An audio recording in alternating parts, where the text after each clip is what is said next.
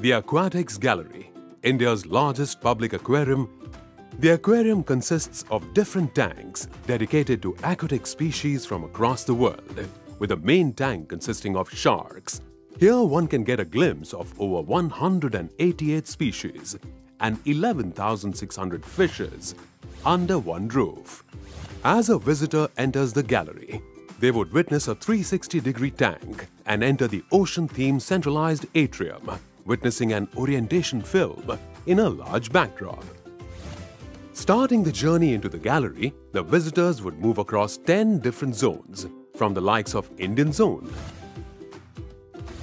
Asian Zone, African Zone, American Zone, Oceans of the World, and others.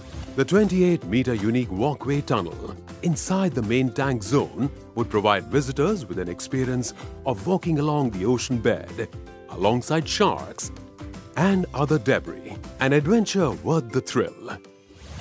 The unique 5D theater gives you an edge of the seat thrill and a fun-filled experience.